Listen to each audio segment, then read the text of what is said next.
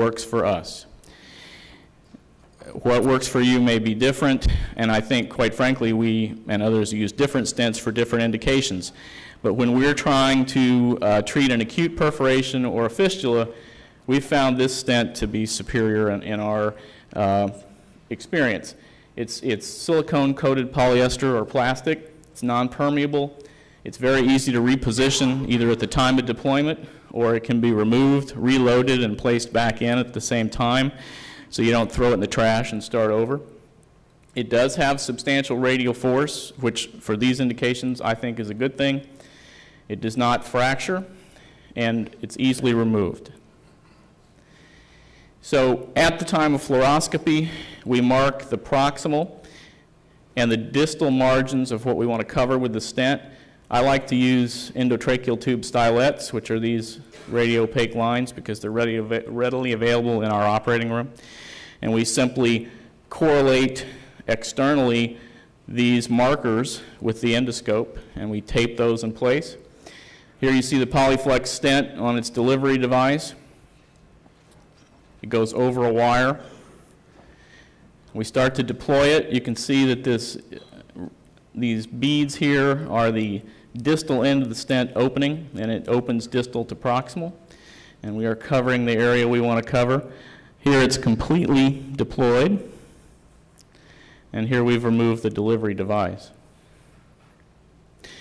After the stent is placed, we look down in the esophagus again with a flexible scope. We like to make sure that the stent is well seated and that there are no kinks in it which would obscure the lumen. We do go through the stent and we like to see the stent just like this above the GE junction. Another important point, I think, and why we like to have control of these patients is we treat them like they had an esophageal perforation. They're usually in the ICU at least overnight. We're very aggressive in resuscitating them as, as you would any other patient. Directed antibiotic therapy, respiratory support if needed. Obviously, they're NPO at this point. We use proton pump inhibitors. We have the uh, PEG to drainage, and we initiate nutrition as soon as possible. In general, we get an esophagram about 48 hours after the stent is placed. If that uh, shows no evidence of continued leak, we'll start them on clear liquids and advance them to a, basically a, a soft mechanical diet. And they're discharged when drains are removed if they have any drains such as chest tubes. We like to remove the stent at about two to four weeks in the operating room again with general anesthesia and we do an esophagoscopy before and after. So I want to briefly review the three series uh, from our institution uh, and what we've found. These are small series. We purposely have not combined them into one large series because I think that makes it very hard to compare apples to apples. So for fairly unusual problems, we, I think we have reasonable numbers at least to, to say in our practice that this, this, is, this is good. Uh, the, the first series that we looked at based on that 14-year-old uh, case is um, esophageal fistula. And we had 21 people in this series. Mean age was 58 years. They had undergone all at least one attempted uh, repair operatively.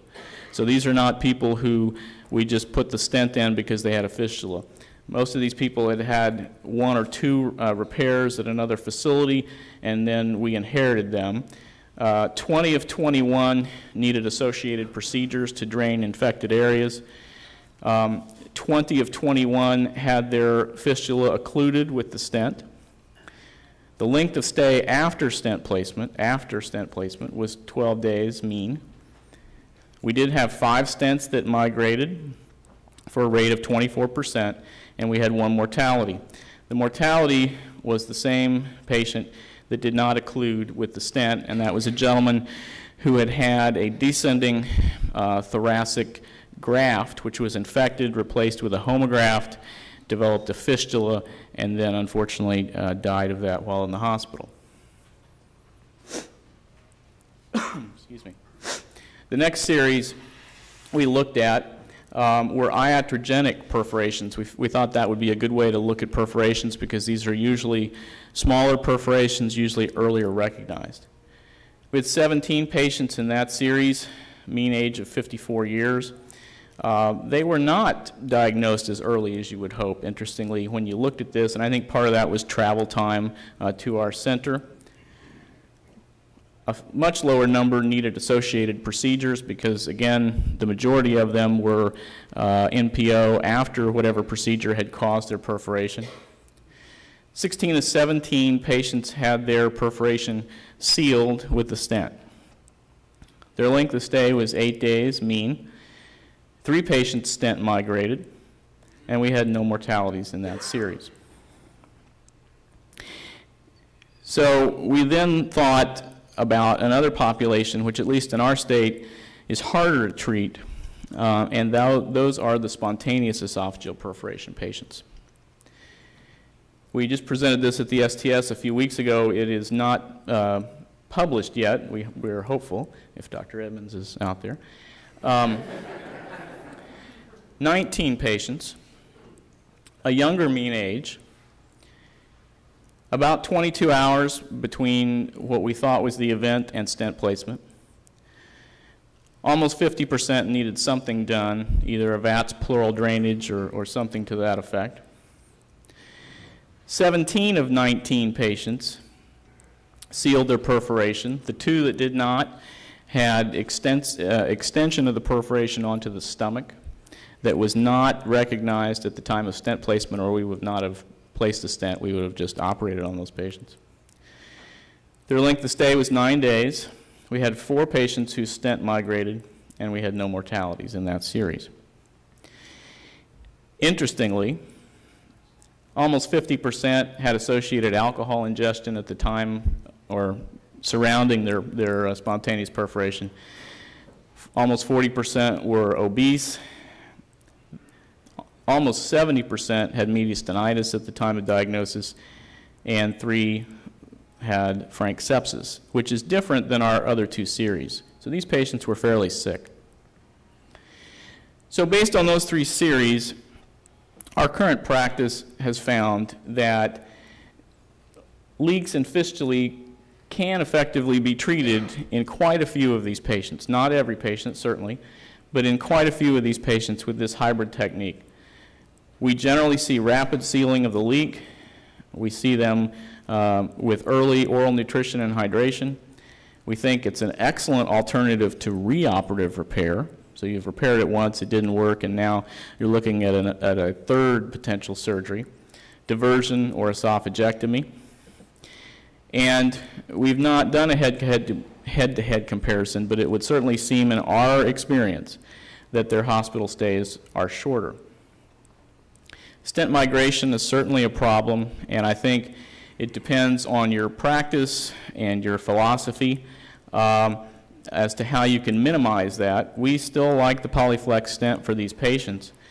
One reason is when it migrates, it does not migrate into the small bowel. It's too big, so we're not fishing these out of the duodenum, or as I've heard from other people, uh, operatively removing them from the jejunum.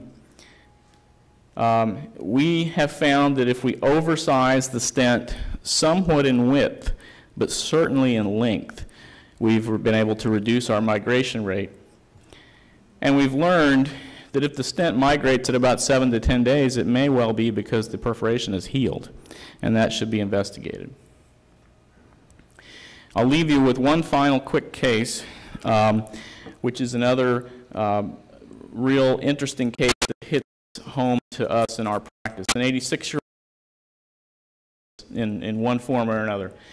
An 86 year old lady um, presents to the emergency department about 11 o'clock on a Friday night.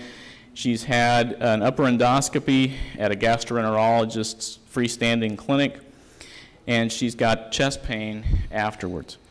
She's followed by a pulmonologist for COPD. Her FEV1 was 38% about a year ago when that was last checked. She's on steroids. Um, you can't get a hold of the gastroenterologist, but the piece of paper she has says that there's a mass in the mid esophagus that's likely malignant, and she is severely kyphotic. We placed a Polyflex stent in her as well as a PEG. On Monday, we did a repeat esophagram. Uh, there was no leak. She was begun on a diet and went home